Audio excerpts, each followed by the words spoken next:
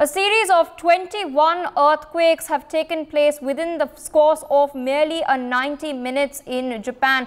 Now, the death toll in this catastrophic incident has risen to 30. Meanwhile, rescue operations are underway at this point. With us on the broadcast is my colleague Akshit Gupta. Akshit, what details can you give our viewers? We're getting to know that the death toll has risen earlier in the morning. We had tracked 6. It had doubled to 12 and now it is 30. 30. What can you tell our viewers?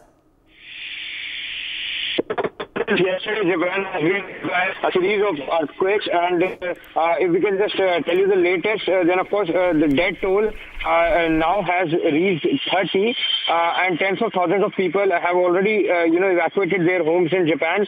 yesterday, only after a powerful earthquake triggered tsunami warnings also, and devastated towns on the country's main island of Honshu.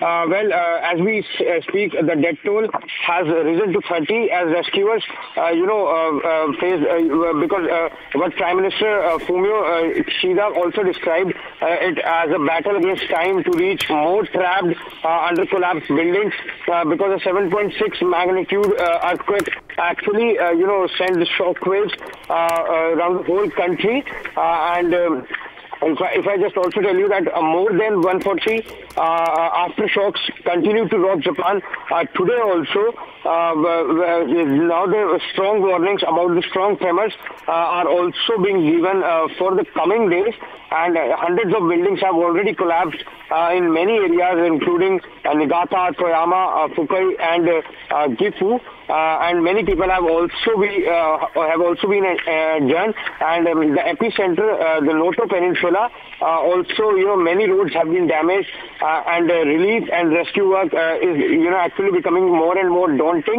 For more such videos, subscribe to the NewsX YouTube channel, hit the bell icon.